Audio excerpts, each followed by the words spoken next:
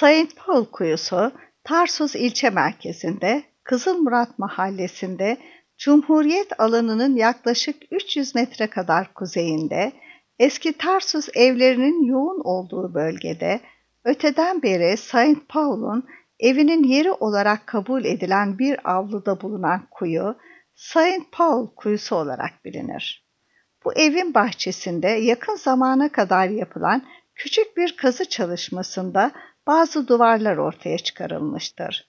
Saint Paulus'un Hristiyanlık için önemine bağlı olarak bu kalıntıların ve kuyunun çok eskiden beri kutsal sayılması, kente yakın zamana kadar yaşayan Hristiyan cemaatinin inancının izleri olarak yorumlanmaktadır.